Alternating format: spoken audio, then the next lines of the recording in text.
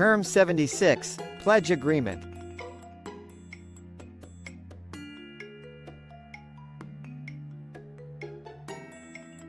A pledge agreement is a legal document used to create a security interest in an asset, called collateral, to secure a debt or obligation.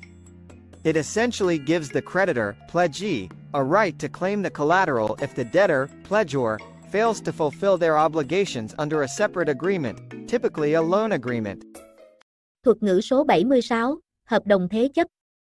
Hợp đồng thế chấp là một văn bản pháp lý được sử dụng để tạo ra lợi ích bảo đảm bằng một tài sản, gọi là tài sản thế chấp, để bảo đảm cho một khoản nợ hoặc nghĩa vụ. Về cơ bản, nó trao cho chủ nợ, người nhận thế chấp, quyền yêu cầu tài sản thế chấp nếu con nợ, người thế chấp không thực hiện các nghĩa vụ của mình theo một thỏa thuận riêng, thường là hợp đồng cho vay.